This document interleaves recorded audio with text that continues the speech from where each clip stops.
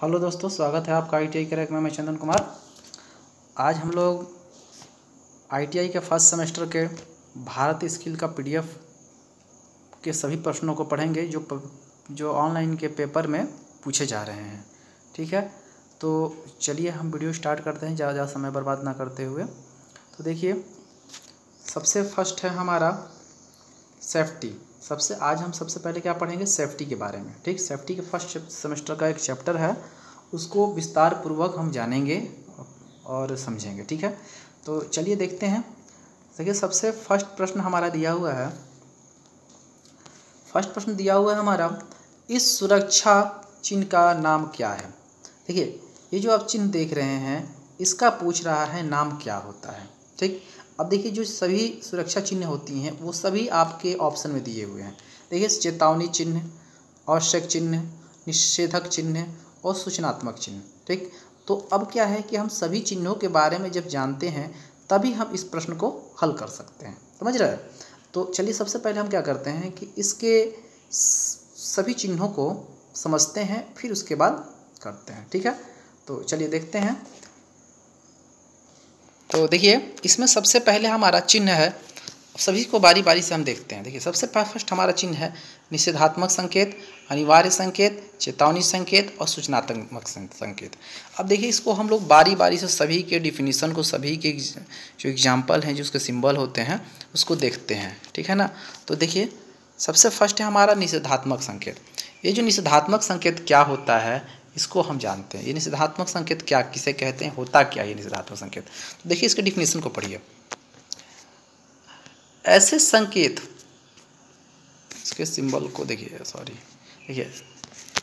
ऐसे संकेत जो किसी कार्य को करने के लिए मना करता है, ठीक? जिन कार्य को करने के लिए मनाही होती है, उस जगह पर निषेधात्मक संकेत लगाया जाता है।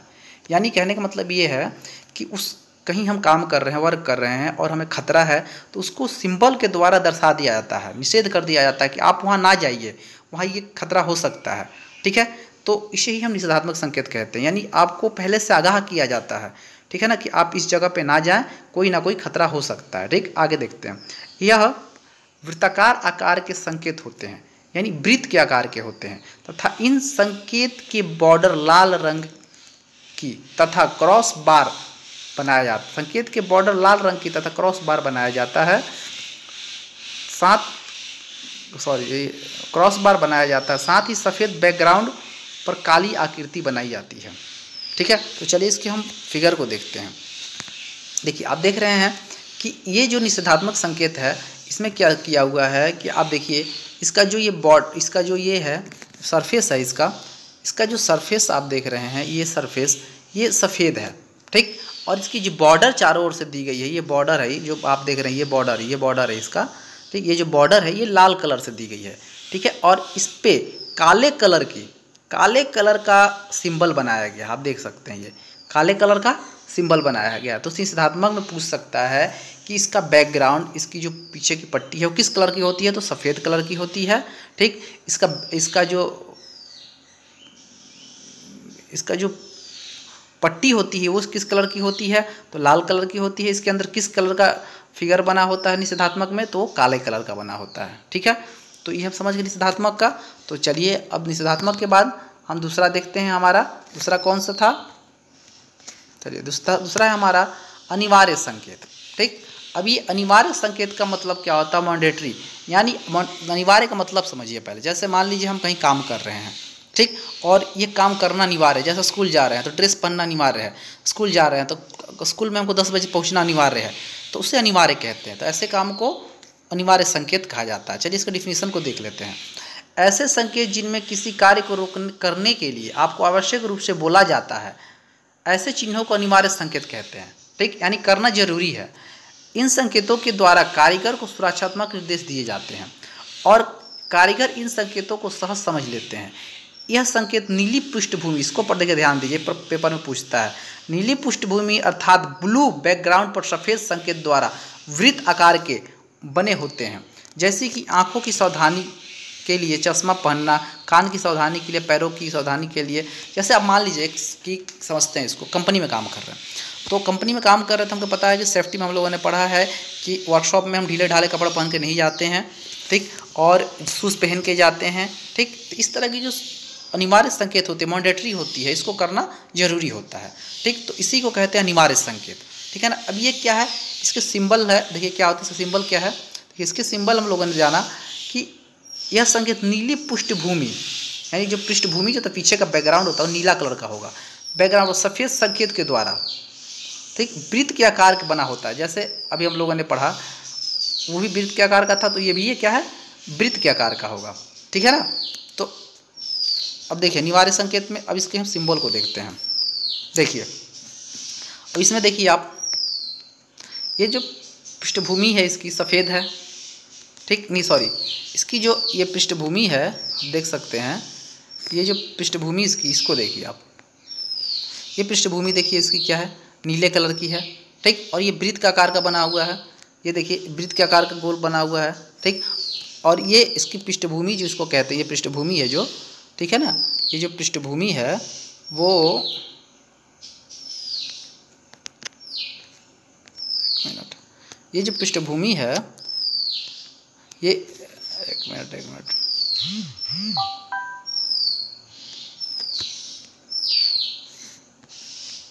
ये जो इसकी पृष्ठभूमि, ठीक है ना? ये पृष्ठभूमि किस कलर की है?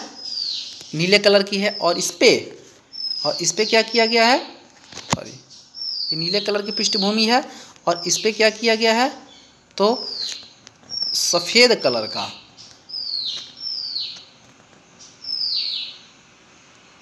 सफ़ेद कलर का, इस पर सफ़ेद कलर नहीं आ रहा है। चलिए समझिए इस तरह से कि क्या है इस पर नीली पृष्ठभूमि है? ठीक है? पृष्ठभूमि क्या है इसकी? नीली है और इसके ऊपर सफ़ेद कलर का फिगर बना हुआ है। ठीक, और वृत्त के आकार का है। इसे क्या कौन सा कहेंगे हम? ये हमारा अनिवार्य संकेत इस संकेत को करना ज़रूरी है। ठीक है? तो चलिए आगे देखते हैं। अनिवार्य संकेत हो गया। इसके बाद है चेतावनी। खतरा या सावधानी। चेतावनी।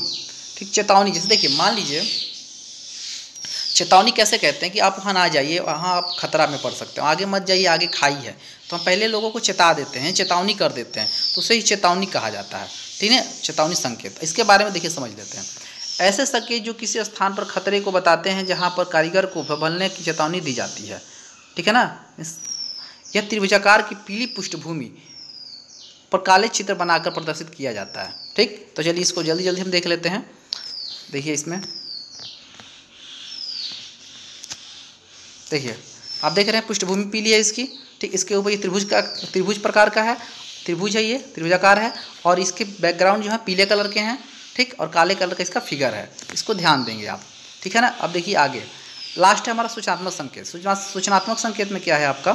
वे संकेत जो किसी सूचना दी जाती है आपको। वे संकेत जो किसी जगह वे संकेत वे संकेत जो किसी जगह विशेष के बारे में या किसी के बारे में आपको सूचना देती है, उसे हम संकेत कहते हैं। यह वर्गाकार होते हैं। इनकी हरी पृष्ठभूमि ग्रीन और सफ़ेद रंग की आकृति द्वारा प्रसिद्ध प्रदर्शित किया जाता है। ठीक है ना? तो चलिए इसको देखते हैं हम। इसके फिगर को देखते हैं। देखिए इसके फिगर को। देख रहे हैं आप? ये देखिए। ये जो नीला कलर का और इसकी देखिए जो इस पृष्ठभूमि है जो इसकी, ये पृष्ठभूमि है जो इसकी, ये हरी कलर की है। अब देख रही हरा कलर का, इसके सफ़ेद कलर का सिंबल बना हुआ है। ठीक है ना? तो ये कौन सा है? ये सूचनात्मक संकेत है, यानी सूचना दिया जाता है। ठीक तो इस तरह से हम लोगों ने इसको देखा। चलिए अब प्रश्न पे जाते हैं। इस सुरक्षा चिन्ह का नाम क्या है? पूछ रहा है कि इस सुरक्षा चिन्ह का नाम क्या है? हम लोगों ने सभी प्रश्नों को देखा। अब बारी बारी से हम इसको देखते हैं। ठीक, अब कह रहा है कि इस सुरक्षा चिन्ह का नाम क्या है? आप ये जो सुरक्षा चिन्ह देख रहे हैं, ये, इसका नाम पूछ रहा है क्या है? तो अभी हम लोगों ने पढ़ा कि देखिए, ये कौन सा चिन्ह है? ये चेतावनी नहीं, सूचना दे रहा है ना जी ये चिन्ह? तो ये हमें क्या कह रहा है? आगाह कर रहा है किसी चीज़ से। तो ये हमारा क्या हो जाएगा? सूचनात्मक चिन्ह हो जाएगा। इस सुरक्षा चिन्ह का नाम क्या है इसका? सूचनात्मक चिन्ह है, ठीक? चलिए आगे देखते हैं। समय ज़्यादा हो लग जा रहा है। देखिए, अग्नि का समन क्या है? ठीक? अग्नि का समन यानी अग्नि को बुझाने के लिए सबसे पर्याप्त ऑप्शन क्या होगा इसमें? ठीक है ना? तो देखिए, फ़र्स्ट ऑप्शन दिया हुआ है आपका। अग्नि में ईंधन मिलाना, अग्नि से ईंधन अलग करना जल का उपयोग करना, अग्नि को ऑक्सीजन की आपूर्ति से अलग कर देखिए, सबसे इसमें बेस्ट ऑप्शन हमें, सबसे हमें बेस्ट ऑप्शन देखा जाए तो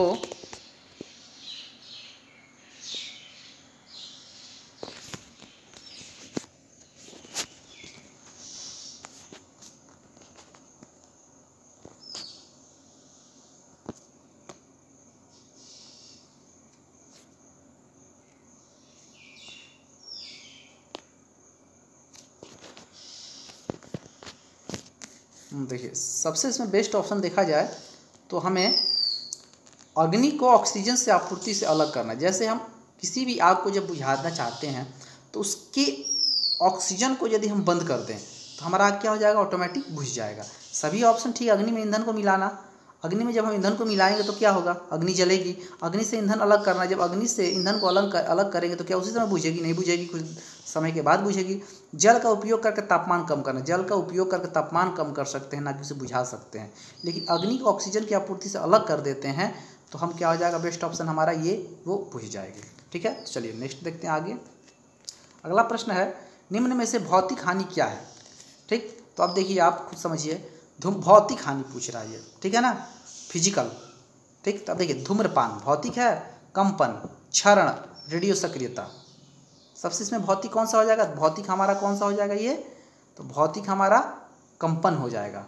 ठीक है ना? ये भौतिक हानि कहलाती है। अब देखिए नेक्स्ट देखते हैं आगे।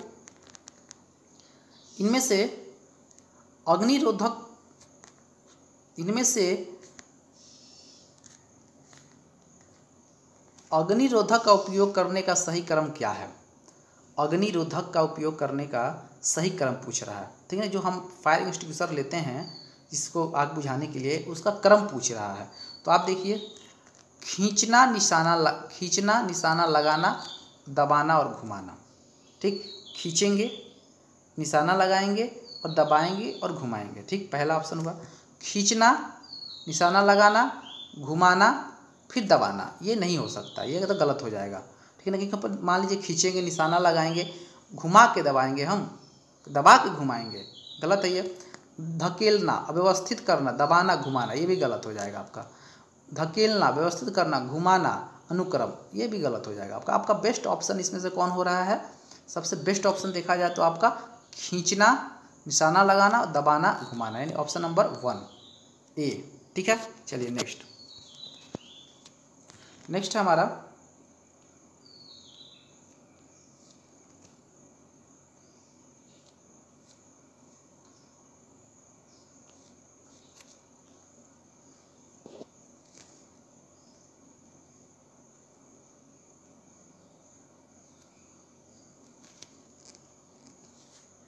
चलिए नेक्स्ट हो जाएगा हमारा नेक्स्ट देखिए।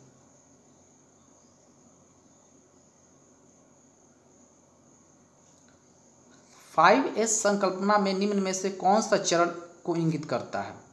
फाइव एस संकल्पना में निम्न में से कौन सा चरण को इंगित करता है? तो इसको ज़्यादा मत सोचिए, बस इतना ध्यान रखिए आप कि फाइव एस का प्रश्न कभी भी आए तो तुरंत आपको क्या करना है?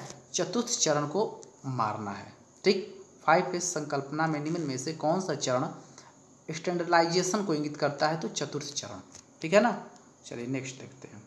नेक्स्ट है हमारा कौन सा, कौन से प्लायर कौन से कौन से प्लायर का उपयोग तार की हुक और लूप बनाने में किया जाता है? ठीक? जैसे हुक और लूप बनाने में किसका उपयोग करते हैं? ये पूछ रहा है हमसे। ठीक है तो इसको ध्यान ऑप्शन को पढ़िए आप। Flat nose plier long nose plier round nose plier diagonal cutting plier ठीक? तो इसमें हमारा क्या हो जाएगा? जब हम कटिंग बनाना है राउंड बनाना है तो आप राउंड नोज़ प्लायर का उपयोग करेंगे फ्लैट नहीं करेंगे लॉन्ग नहीं करेंगे इसके नाम से ही पता चल जाए राउंड है तो राउंड बनाएँगे, और यहाँ राउंड बोल ही रहा है, कौन से प्लायर तार को हुक का और लूप हुक बना राउंड टाइप का होता है तो हमारा राउंड नोज़ प्लायर हो जाएगा ऑप्शन नंबर सी सही हो जाएगा, ठीक है? चलिए नेक्स्ट देखते हैं। नेक्स्ट हमारा पिंसर का उपयोग कहाँ किया जाता है? पिंसर। ठीक है ना? अब देखिए, ऑप्शन क्या दिया हुआ है? फ्लेक्सिबल तार को ट्विस्ट करने में, छोटे व्यास को तार काटने में एक लकड़ी में से भी निकालने में देखिए। ऑप्शन हमारा आ गया पिंसर जो होता है, लकड़ी में जो कील लगी रहती हैं, उनको निकाला जाता है पिंसर से। ठीक ना? तो हमारा ऑप्शन नंबर सी सही हो जाएगा। ठीक है? चलिए नेक्स्ट देखते हैं। नेक्स्ट है हमारा, इस सड़क सुरक्षा चिन्ह का क्या नाम है? अब देखिए आ गया चिन्ह हमारा इसका नाम पूछ रहा है, क्या है? ठीक, देखिए ऑप्शन दिया हुआ आवश्यक चिन्ह। ठीक है, उसके बाद है, सचेतक चिन्ह, सूचनात्मक चिन्ह, निषेधक चिन्ह। तो ये हमारा कौन सा चिन्ह है? तो ये हमारा आवश्यक चिन्ह हो जाएगा ऑप्शन नंबर ए ठीक, चलिए नेक्स्ट देखते हैं आगे।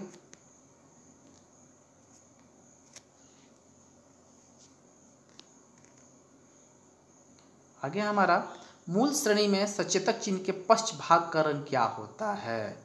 अब देखिए, सचेतक चिन्ह। सूचना दे रहा है, सचेत कर रहा है हमें। तो सचेतक चिन्ह के बारे में पूछ रहा है कि मूल श्रेणी में सचेतक चिन्ह के पश्च भाग का भाग क्या होता है? याद कीजिए आप। अभी हमने बताया, आपको सभी को फिगर दिखा दिखा के तो सचेतक चिन्ह को क्या कहा जाता है।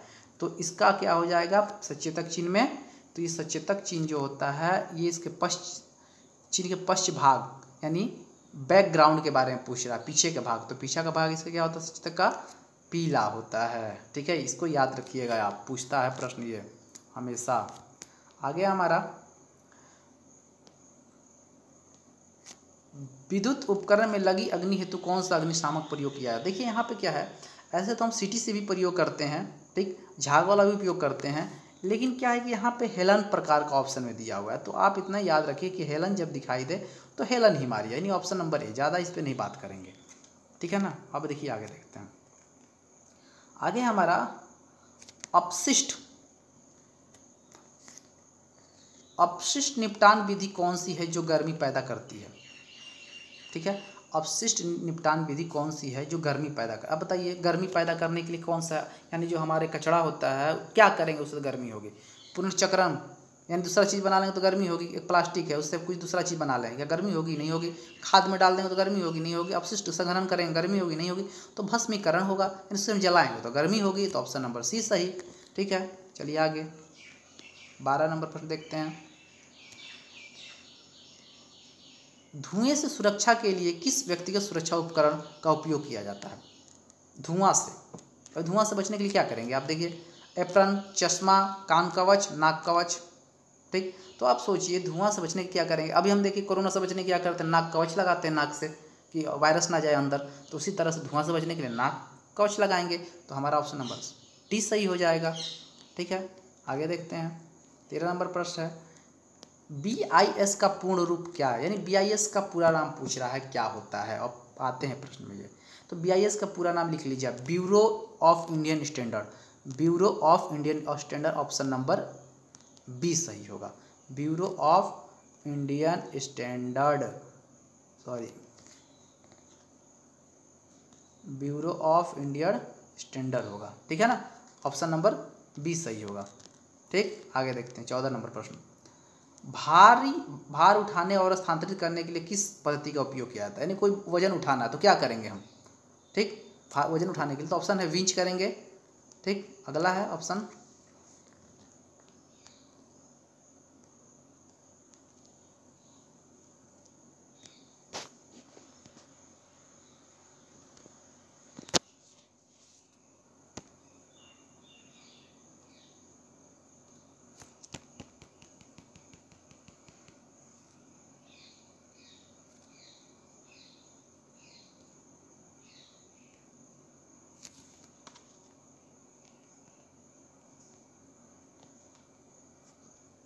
देखिए।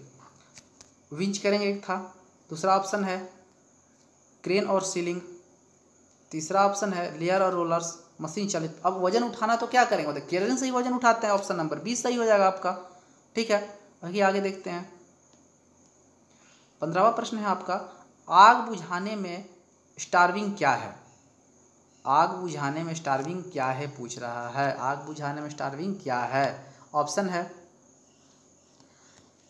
अग्नि में ईंधन मिलाना, अग्नि से ईंधन अलग करना, जल का उपयोग करके तापमान कम करना। स्टार्विंग का मतलब ही होता है जल का उपयोग करके तापमान को कम करना, यानी ऑप्शन नंबर सी सही होगा। ठीक है? आगे देखते हैं। तो वीडियो कहीं समाप्त करते हैं। ज़्यादा लंबा वीडियो हो जाएगा, फिर नेक्स्ट में हम बनाएँगे। ठीक है ना? चलिए, धन्यवाद।